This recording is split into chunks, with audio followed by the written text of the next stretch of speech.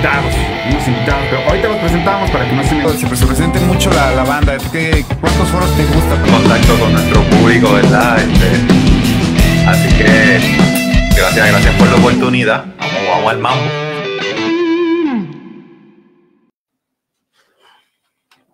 Bien, ¿qué onda, banda? Tarde, pero tarde, pero sin sueño. Como digo, ¿dónde están? Ahí está, ahí está la cámara, está de este lado. Este, ¿qué onda? ¿Cómo estamos, banda? ¿Cómo estamos? Bienvenidos. Un sabadito más de Music Jam. La semana pasada no pudimos, bueno, intentamos transmitir, por ahí van a ver un pedazo de la, de la transmisión, pero nuestros amigos de la Virgen Fugitiva de allá de Argentina, pues no se pudieron, no se pudieron conectar ellos. Entonces, este, pues un saludo para ellos, un saludo para Martín. Vamos a ver si agendamos después. Y bueno, ahora regresamos a casa, pero regresamos ahora con las entrevistas. Va a ser una entrevista en vivo, que es creo que lo, lo más viable, podríamos decir que es lo...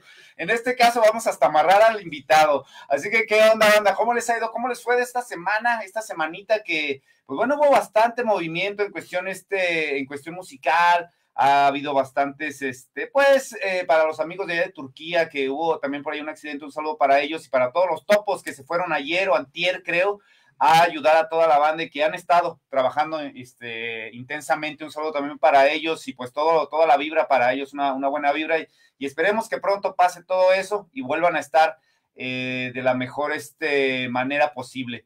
Así que bueno, eh, ¿de qué viene hoy? ¿De qué va hoy Music Jam? Hoy tenemos algo de música de, para toda la banda que no, eh, que dice, ¿sabes qué? Pues es que George es nada más rock and roll y cosas así, aparte de, de que ya estoy grande, que también estoy medio rock and roll, ¿no?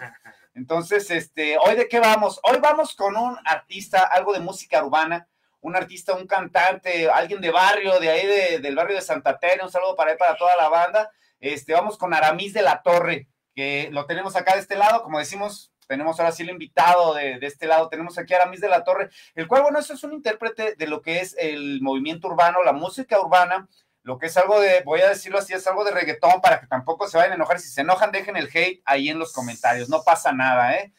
La verdad no pasa nada. Después eliminamos los comentarios. ¿Cuál es el problema, no?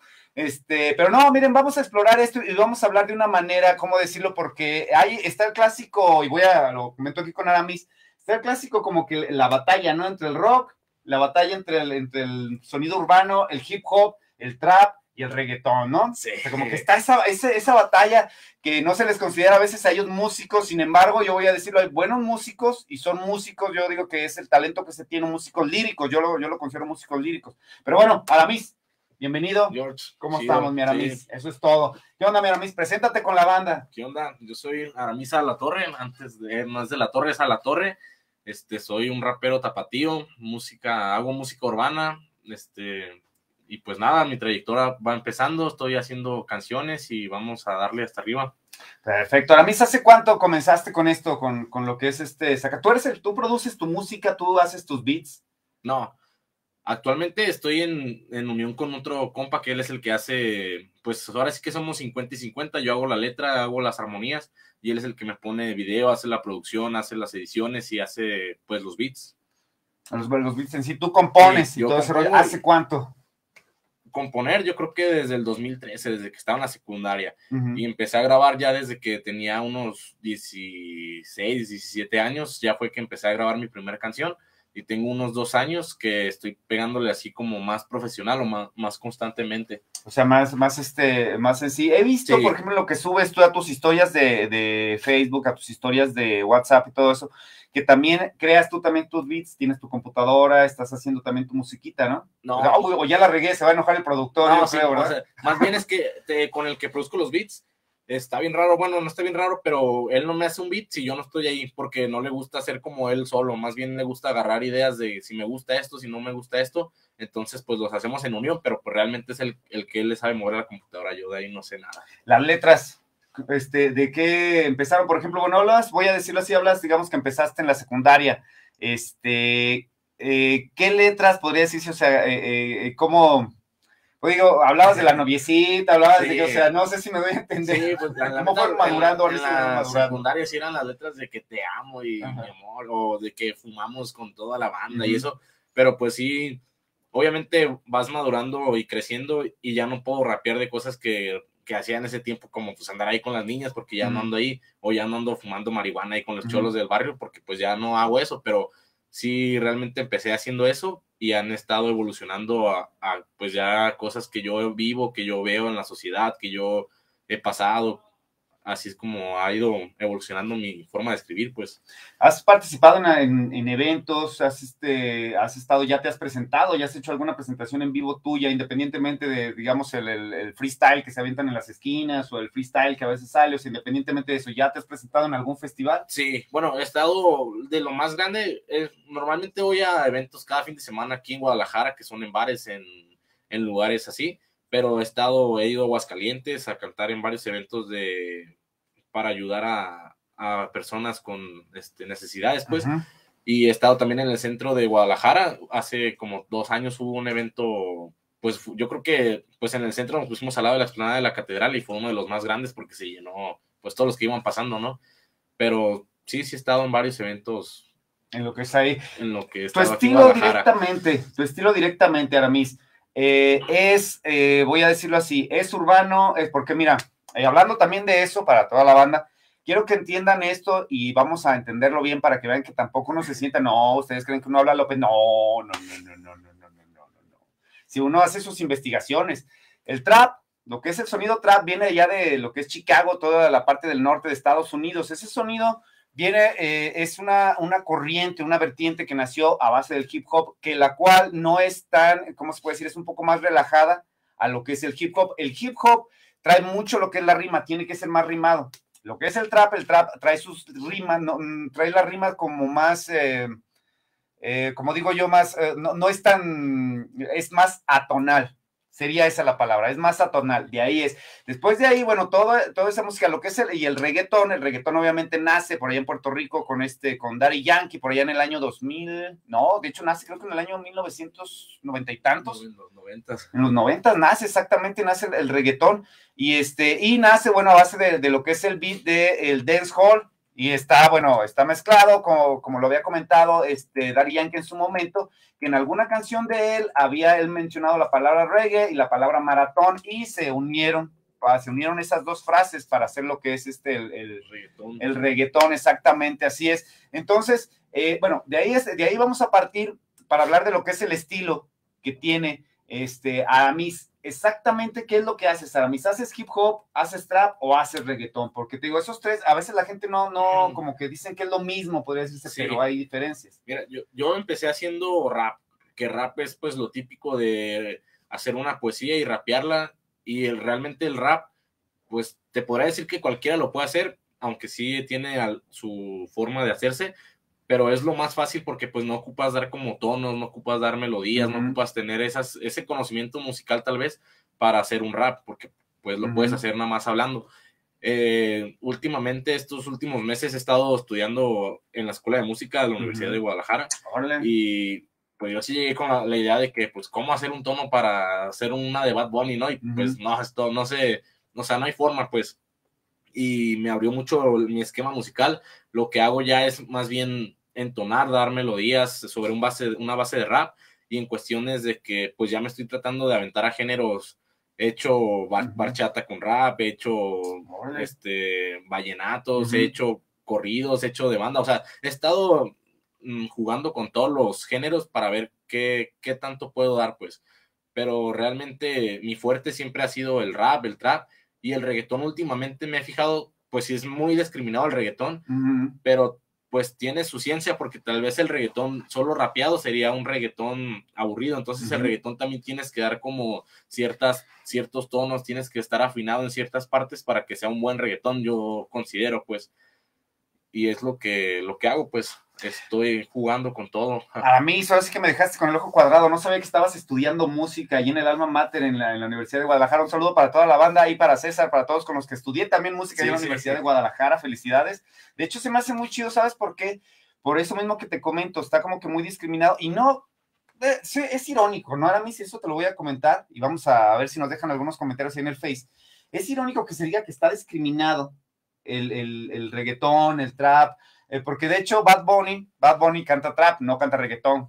Quiero que entienda la gente. ¿eh? Entonces, este, eh, está discriminado y sin embargo, ven cómo, o sea, cómo se, cómo gana, se llevó, los, los Grammys el año pasado, se llevó mucho, este año se volvió a llevar Grammys, entonces podría decirse que por cierto sector de la gente, o a lo mejor, y voy a decirlo así, Aramis, a lo mejor en, muchos lugares en los, que se desenvuelve uno como que está mal visto, o por ejemplo te desenvuelves tú. Yo a veces lo escucho y a veces, bueno, a veces, a mí me harta a veces porque todo el día, un saludo para los del gym, este, que todo el día tienen reggaetón y sí. trap y estás así como que ya, ¿no? O sea, bueno, es mi punto de vista, mi punto de vista. Pues fíjate, yo, yo creo que hay reggaetón de todo, porque si hay canciones que hasta, hasta yo digo, no manches, este, de que mámame el culo y que te la voy a meter y que qué onda con eso. Sí, hay Se ve que está en vivo. bueno, como personal, ¿no? no pero no, hay sí, canciones que sí, de plano, pues no tiene ni siquiera, pero hay canciones que escuchas y sí tiene alguna poesía, tiene algunos términos más, este, pues de refranes, o tiene algo que sí se ve que hicieron más uh -huh. por hacer un buen reggaetón.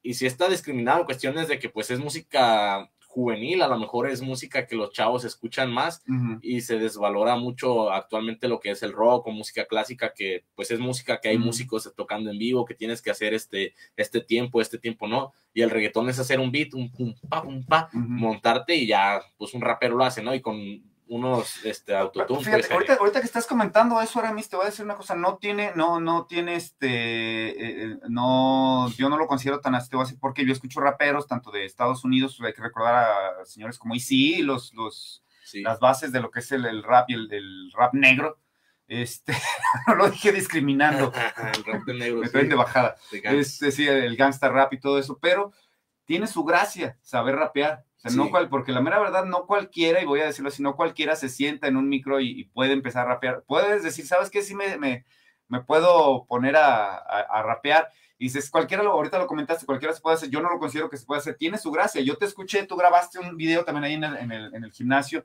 Tú escribiste un tema, tú lo rapeas, tú te lo avientas. Creo que tiene su gracia, ¿no? El, el, poder hacer sí. eso. Tiene, bueno, no es lo mismo estar en una canción y mi tía Juanita me come como tú, ah, mi tía Juanita me come como tú, estoy pensando como si fuera un YouTube, tiene como que tienes que darle una intención, una, una forma diferente para que se oiga pues a rap, ¿no? No es lo mismo hablar o hacer algo a que tienes que tener como un flow, la verdad, sí uh -huh. es como un flow, pero pues bueno, realmente creo que hay bases de rap ya hechas y por uh -huh. eso se me hace que es más fácil hacer un rap porque ya te metes a YouTube y base de rap estilo negro, estilo gasta, ¿no? Y a la hora de, de hacerlo, pues ya está ahí la, la, la, canción, la pista. Y por ejemplo, si quieres hacer un rock, pues no hay una uh -huh. pista de rock que pongas en YouTube, eso sí es. Bueno, es hay, de hecho, de pues, hecho eh. sí hay, sí hay, es, es, los famosos bases para empezar toda a, a improvisar, sí hay, yo los he utilizado mucho pero fíjate, o sea, es que ese es el punto, o sea, puedes sacar una base, puedes empezar a palomear, digamos, como guitarrista, puedes buscar una base de blues, sí. y sacas la base de blues y empiezas a tocar con la base de blues. Eh, ustedes como raperos sacan una base de hip hop, de, este, ¿qué te gusta? De hip hop, una de reggaetón, una de sí. trap, ¿sabes qué? Vámonos. Independientemente del autotune, independientemente de cantes bien, cantes bonito, o sea, habemos gente que no cantamos nada, sí lo voy a decir, lo digo así, incluso yo que traté de tomar clases de canto, ¿eh?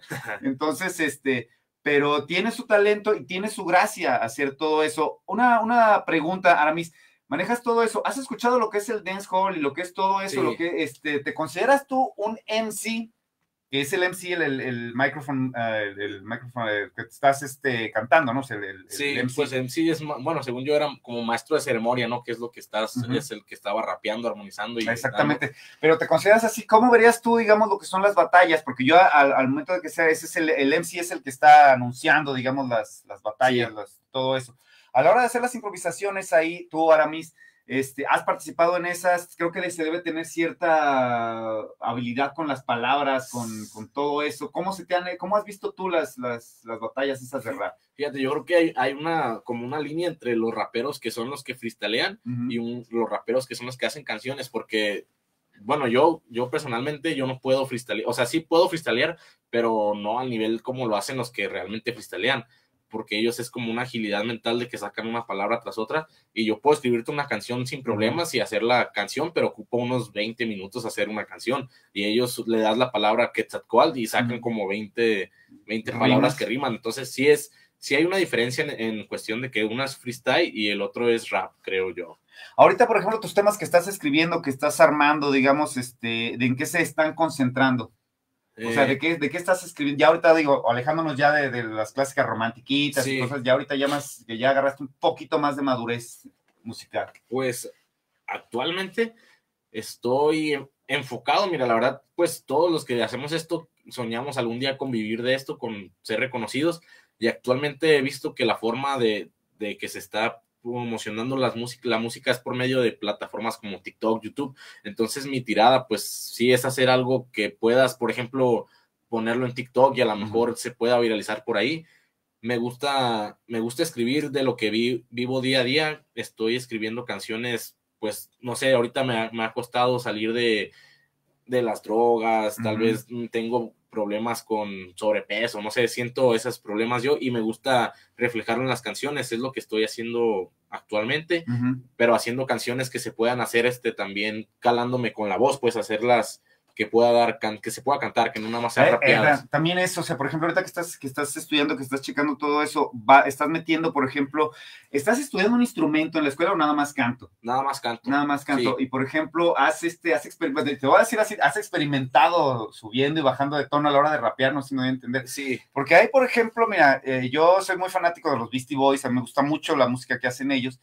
Y pues a veces ellos sí este, hacen cambios de tono porque tocan también instrumentos, entonces hacen cambios de tono y soy diferente. Tú has experimentado, le has dicho, por ejemplo, a tu, a tu, este, a, a tu, tu productor, del que te hace la música, oye, Ah. ¿sabes qué? Cámbiame el tono, hazme algún circulito de, de, no sé, de tres tonos, por ejemplo, y ahí te empiezas a rapear. he estado, bueno, no, tal vez no tengo el conocimiento tanto para estar así, subiendo, bajando, subiendo, haciendo todo eso, pero sí he estado ya, antes mis canciones eran muy monótonas de que solamente era rapear, rapear, rapear, rapear, y ahora ya estoy haciendo tal vez un coro que tenga algún canto y después meto un rapeado, luego meto un puente que está también cantado, entonces sí quiero, estoy experimentando en, en desafiarme pues con mi voz, a ver qué tanto puedo llegar a hacer yo con la voz. Ah, mira, fíjate, se oye más, más como soul, podría decirse, ya ves que en, en los noventas, en los noventas, este, había, por ejemplo, bandas de soul, eh, grupos de soul, este, estaban, este, Boys to Men, bueno, había muchos grupos de, de- podría decirse como tipo soul, chava, ¿cómo sería? Como tipo soul con rap, algo así, ¿no?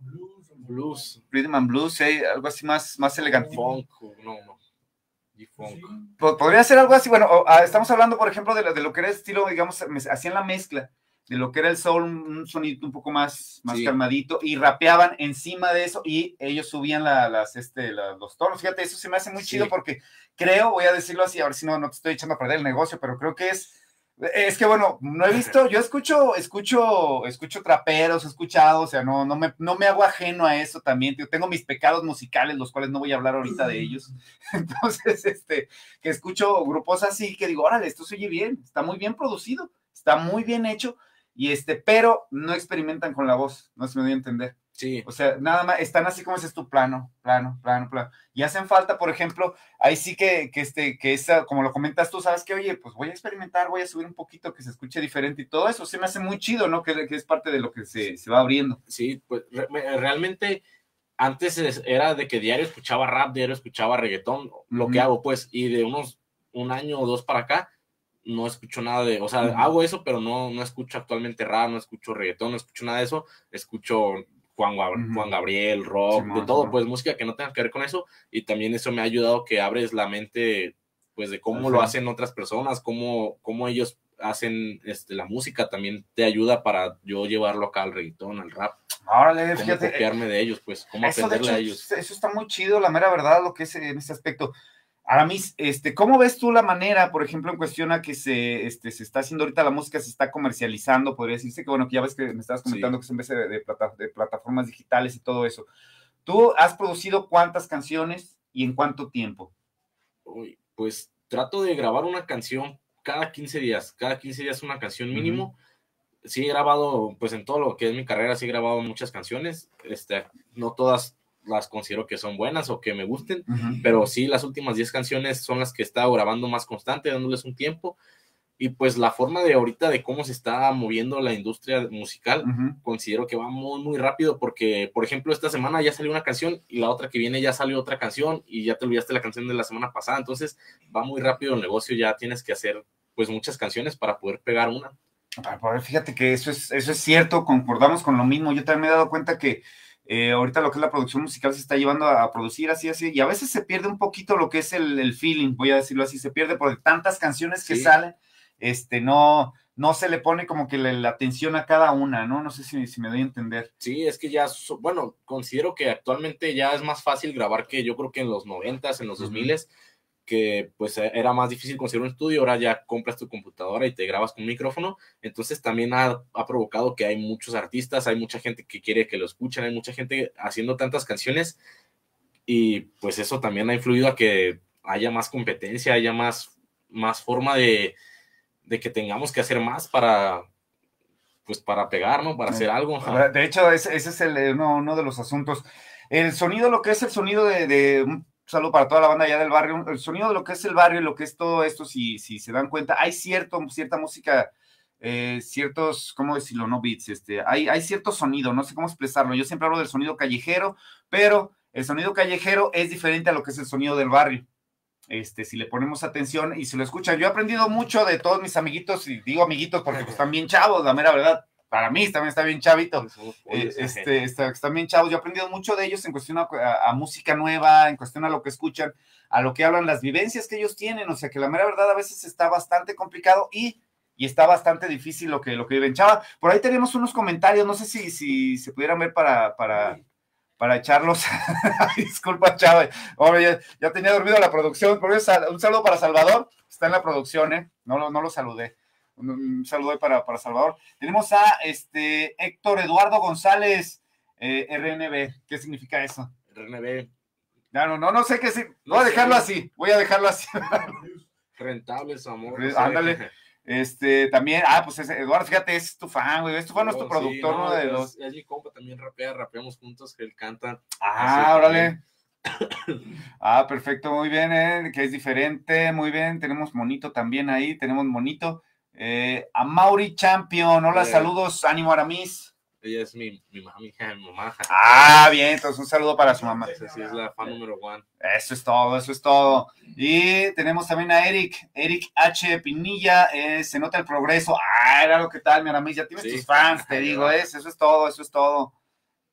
Eh, también es un género, claro que sí. Bueno, de hecho, ese es el, punto del cual estamos este, conversando. Un saludo para toda la banda, gracias, déjenos ahí sus comentarios, compartan el video, ya saben que ahí andamos, este, eh, haciéndolo también, este, pues continuando con esto, Aramis, de lo que es la música y todo ese rollo, ¿qué, qué vas qué estás haciendo ahorita, Aramis? ¿Estás produciendo más música, buscando presentaciones, estás haciendo algo más o qué es lo que estás preparando? Eh, mira, pues ahorita fijándome, pues que soy un mortal, todavía no tengo como, pues quien dice, los recursos, como estábamos hablando hace rato, el dinero y un video, pues un video bien producido actualmente es caro, son de 5 mil, 3 mil pesos mínimo para hacer un buen video. Entonces lo que estoy haciendo ahorita es hacer un puño de canciones, unas Ujú. 20 canciones, de esas 20 canciones voy a seleccionar tres que sean las por encuestas o las que mejor eh, me, las que más me gusten y esas tres canciones hacerle tres buenos videos y darles la promoción. Esa es mi tirada, mi proyecto que estoy haciendo actualmente. Ah, perfecto. Y este, por ejemplo, en festivales, ¿no te han invitado o piensas presentarte en algún lado? Mm, este, actualmente en, la industria de, de eventos aquí en, de rap underground en Guadalajara, no sé, en otros estados, en otros lugares, no, no me gusta presentarme mucho porque creo que se ha desvalorizado mucho el trabajo que hacemos los raperos en cuestión de que ya no este, nos invitan, pero tenemos que pagar para que nos dejen rapear. Ah, pues, ah, uy, uy, uy, a ver. Sí, No, pero fíjate, eso, eso sí no lo sabía, cómo, cómo, o sea, para los eventos grandes, supongo yo que les piden lana sí, para fin de presentarse. Sí, bueno, mm, hay eventos que realmente pues es lo que vamos y si llevas a tu público pues nada más te piden que consuman que la chela, que las papas, ¿no? Pero hay eventos que tal vez traen a un rapero que ya está reconocido y te hacen hacer vender 20 accesos y pues hacen a otros 20 raperos vender otros 20 accesos y pues realmente nos hacen, si, si no vendemos los accesos no nos dejan cantar o si no pagas este 300 pesos no te anotan tu lugar. Entonces pues no, bueno, a mí en lo personal pues no se me hace una forma chida porque yo sí invierto en mis videos, invierto en mis canciones, invierto en mis pistas y pues invierto dinero, invierto tiempo, entonces todavía pagar para que me dejen cantar pues no se me hace chido, pues si voy a cantar y armonizar el show o, o cantar mis canciones, pues creo que sería con el afán de pues de corazón, ¿no? Tal Fíjate, vez. Fíjate qué interesante. Esto eh, va de acuerdo, va acorde, y recordemos en los años 90 la famosa payola que se pagaba para que pusieran tu música en el radio. Chaval, hay que empezar a hacer eso. Sí. Este, sí, no, o sea, bueno, lo que pasa es que la- en los noventas, Sí, ya, ya me, Ya.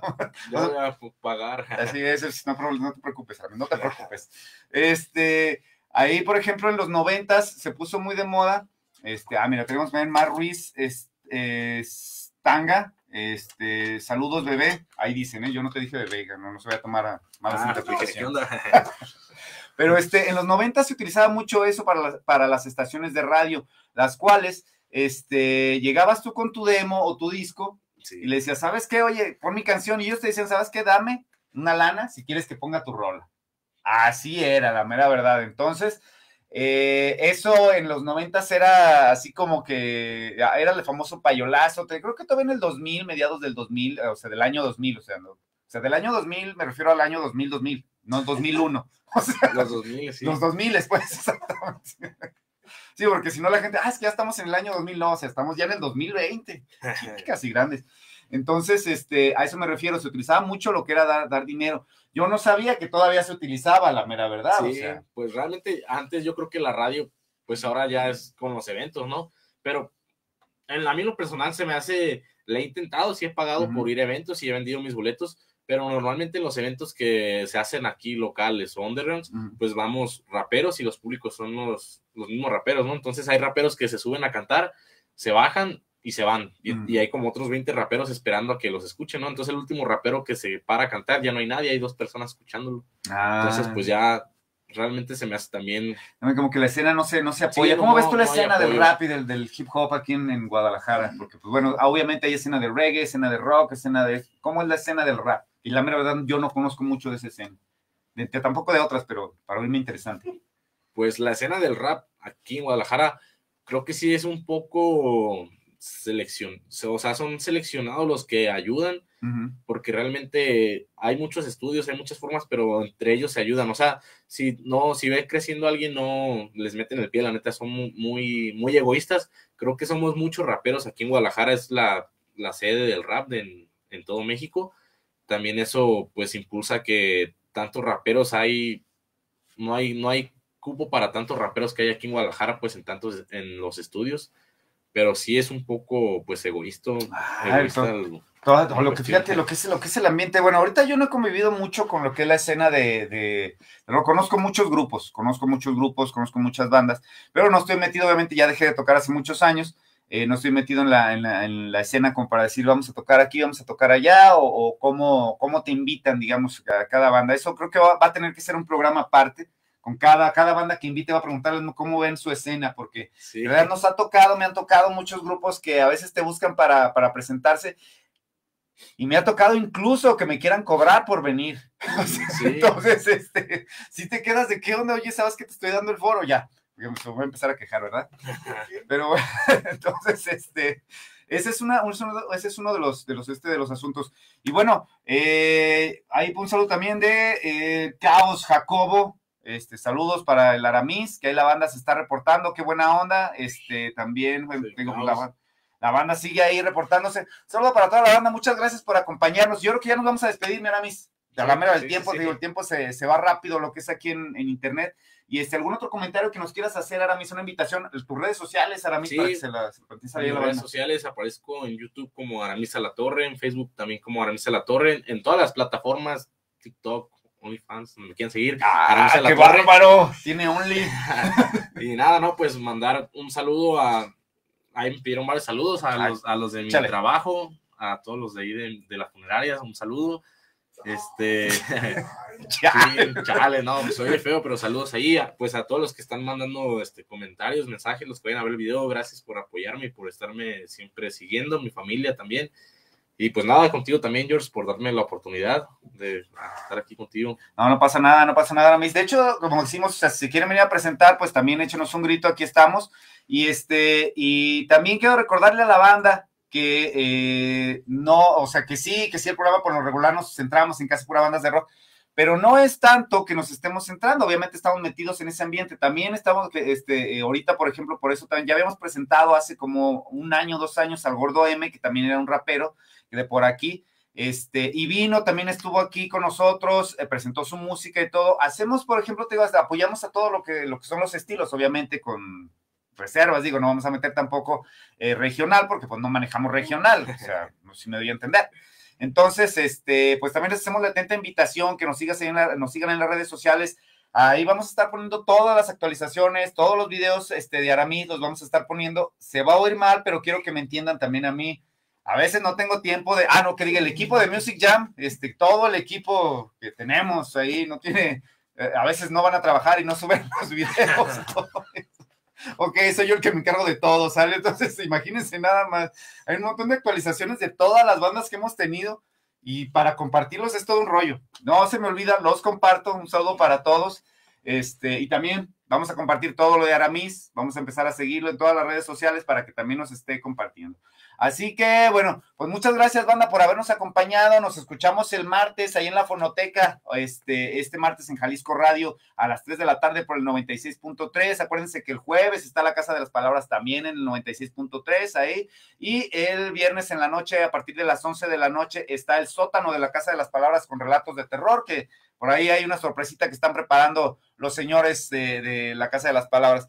Chava, ahí en la producción, saludo, muchas gracias por acompañarnos, Aramis. Chido, y George, gracias. Gracias, gracias por habernos brindado tu tiempo. Y pues bueno, síganos en las redes sociales, nos estamos viendo. Esto fue Music Jam, la conexión está hecha. Vámonos.